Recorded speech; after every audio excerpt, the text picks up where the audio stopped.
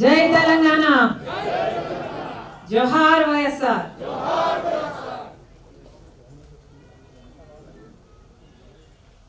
వైఎస్ఆర్ గారిని అభిమానించే ప్రతి నాయకుడికి ప్రతి కార్యకర్తకి నా అక్క చెల్లెళ్ళకి వైఎస్ఆర్ గారిని అభిమానించే ప్రతి హృదయానికి మీ రాజన్న బిడ్డ శిరస్సు వంచి చేతులు జోడించి మనస్ఫూర్తిగా నమస్కరించుకుంటున్నాం.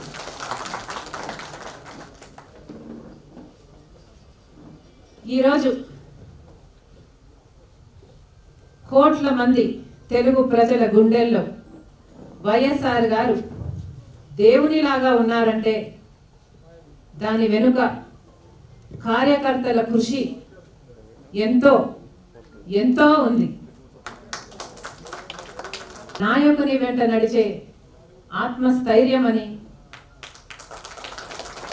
ఎదురు దెబ్బ తగిలిన ప్రతిసారి మేమున్నామంటూ ధైర్యాన్ని ఉత్సాహాన్ని నింపేది కార్యకర్తలని నాకు తెలుసు. కార్యకర్తలంటే నినాదాలు చేసే వాళ్ళే కాదు నాయకుణ్ణి నిత్యం ప్రజల దగ్గరకు చేర్చే వాళ్ళని.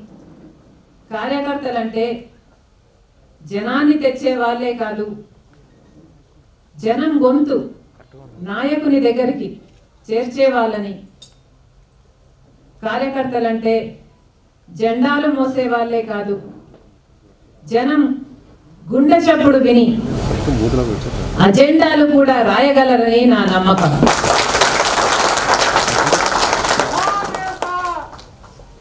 ఎందుకంటే ప్రజల సమస్యలు వాళ్ళ సమస్యలుగా భావించి ఆ సమస్యలు తీర్చడానికి రోజు పోరాడే జీవితమే కార్యకర్తలు.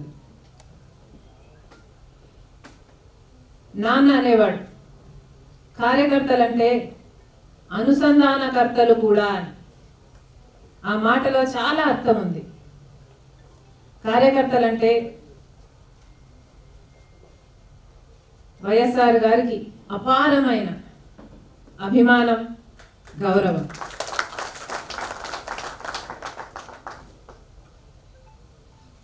మనం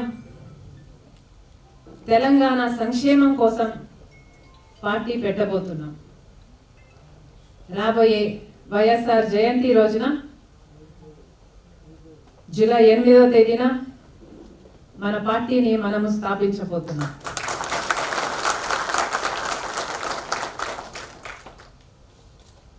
మనం పెట్టబోయే పార్టీలో కార్యకర్తలే కీలకం. వాళ్ళకే పెద్దపీట వేస్తాం.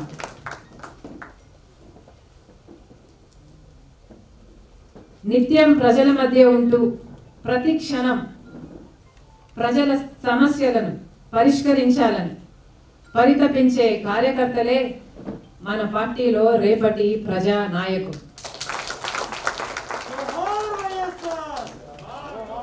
అంతేకాదు. ప్రజల గుండె చప్పుడు ప్రజల నాడిని అతి దగ్గరగా వినేది కార్యకర్తలే కనుక. వాళ్ళు చెప్పిందే మన పార్టీ సిద్ధాంతం కావాలి వాళ్ళు చెప్పిందే మన పార్టీ రాజ్యాంగం కావాలి. సో ఇట్లా లాక్డౌన్ అనౌన్స్ చేసిండ్రో లేదో పొట్ట తిప్పల కోసం పొట్ట తిప్పల పడేటోళ్ళు ఎట్లా బతకాలరా దేవుడా అంటే మీకు కొంతమందిని చూపిస్తే ఇప్పుడు. చూడండి. వీళ్ళను లాక్డౌన్ అనౌన్స్ చేయంగానే ఇంటికి వీళ్ళు సామాన్లు కొనుక్కోతున్నారా పిల్ల పిల్లలు ఎట్లున్నారు? ఇవన్నీ సోయినాయో లేవో కానీ వైన్ షాప్ ముంగట చూడండి ఎట్లా లైన్లు కట్టిరు ఇది ఇంకా పొద్దుకే వరకల్లా ఆడదాకా మా ఇంటి దాకా పోతుంది. వీళ్ళకి ఇంకా ట్రాఫిక్ జామ్ చేస్తారు ఇట్లా. పోలీసులు కావాలి. ఆ పోలీసు వాళ్ళు కావాలి ఉండాలా వాళ్ళు